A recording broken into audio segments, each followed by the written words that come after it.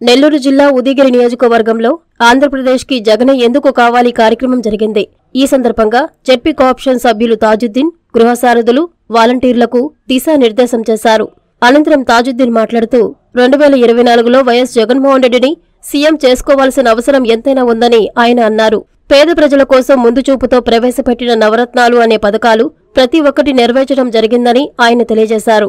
అనంతరం మండల కన్వీనర్ ఓబుల్ రెడ్డి మాట్లాడుతూ ప్రజల కష్టాలు తెలిసిన వ్యక్తి మన సీఎం అని ప్రజల కోసం నిరంతరం పాటుపడుతున్న వ్యక్తి జగన్మోహన్ రెడ్డని ఉదయగిరి ఎమ్మెల్యేగా మేకపాటి రాజగోపాల్ రెడ్డిలను మీరంతా కలిసికట్టుగా రెండు వేల ఇరవై నాలుగులో భారీ మెజారిటీతో గెలిపించాల్సిన బాధ్యత మనందరిపై ఉందన్నారు.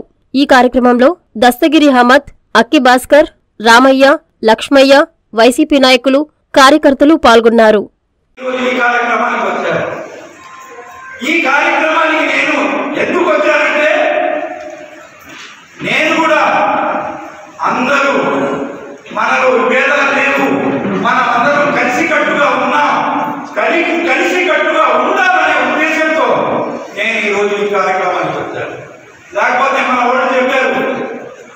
ఈరోజు చాలా మంది మన ఉదయగిరి పట్టణంలో చాలా మంది మన పిల్లలు కార్యక్రమానికి రావాలని ఉన్నారు. కానీ ఏమన్నా తిరుగు లేకపోతే వెళ్ళిపోతారమ్మా అని వాళ్ళు చెప్పారు. అయినా కూడా వాళ్ళ పిల్లోడు వాళ్ళు చెప్పిన మాటకు లేదా? ఏదో వాలంటీర్ అయినటువంటి మీకు మన వైసీపీ పార్టీ తరఫున మన జగన్మోహన్ రెడ్డి గారు తీసుకుని వచ్చేటువంటి పథకాల గురించి మాకంటే కూడా మీకు చాలా ఎక్కువగా తెలుసు చాలా బాగా తెలుసు. ఎందుకంటే కింద బేస్ లెవెల్లో కింది స్థాయిలో ఈ పథకాలన్నింటినీ కూడా అమలు చేసేటువంటి బాధ్యత అమలు చేసేటువంటి పని మీరు చేస్తున్నారు. ఈరోజు ఏ గ్రామంలో చూసినా కానీ ప్రజలతో ప్రత్యక్షమైనటువంటి సంబంధాలు మీకున్నాయి. ఒక్కో గ్రామంలో ఒక యాభై కుటుంబాలకు ఒక వాలంటీర్ను కేటాయించడం జరిగింది. ఆ యాభై కుటుంబాల యొక్క కంప్లీట్ సమాచారం ఈ వాలంటీర్లకు పూర్తిగా తెలిసి ఉంటుంది. వారికి ఏ ఏ పథకాలు వస్తున్నాయి? వారికి సంక్షేమ కార్యక్రమాల ద్వారా ఎంత లబ్ధి చేకూరుతా ఉంది అనేది మొత్తం డేటా మీ దగ్గర ఉంటుంది. అందుకనే తమ్ముడు నాకు చెప్పాడు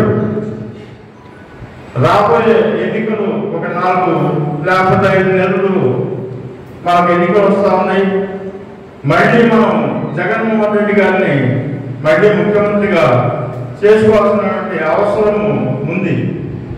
అవసరం దేనికోసం ఉంది? మనందరి కోసం ఉంది.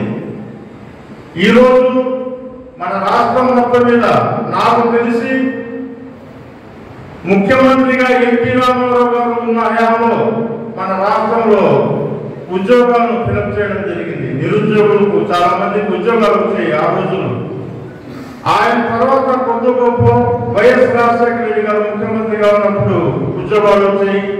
ఈ తెలుగుదేశం చంద్రబాబు నాయుడు ముఖ్యమంత్రిగా పనిచేసినటువంటి కాలం మొత్తం కూడా ఒక్కరికి కూడా ఉద్యోగం వచ్చినటువంటి దాఖలాలు లేవు. ఈ రోజు జగన్మోహన్ రెడ్డి గారికి ఎటువంటి అనుభవం లేకపోయినా ముఖ్యమంత్రిగా వచ్చినటువంటి మొట్టమొదటిసారి గ్రామ సచివాలయ వ్యవస్థ అనేటువంటి దాన్ని తీసుకుని వచ్చి కొత్తగా లక్ష ముప్పై వేల ఉద్యోగాలను సృష్టించి మన రాష్ట్రంలో ఉన్నటువంటి నిరుద్యోగ యువతకు ఒక దిశానిర్దేశం చేయడం జరిగింది. వారందరి జీవితాల్లో వెలుగులు తీసుకుని రావడం జరిగింది. చూడండి లక్ష ముప్పై వేల మంది కుటుంబాల్లో వెలుగులు తీసుకుని వచ్చినటువంటి ఘనత మన రాష్ట్ర ముఖ్యమంత్రి జగన్మోహన్ రెడ్డి గారికి ఉంది. ఇంతమంది కొమ్ములు తిరిగినటువంటి ముఖ్యమంత్రులు ఒకటికి రెండు సార్లు పనిచేసినటువంటి ముఖ్యమంత్రులు ఎంతమంది వచ్చినా కానీ ఇన్ని ఉద్యోగాలు తీసుకుని వచ్చినటువంటి ఘనత ఒక జగన్మోహన్ రెడ్డి గారికి ఉంది.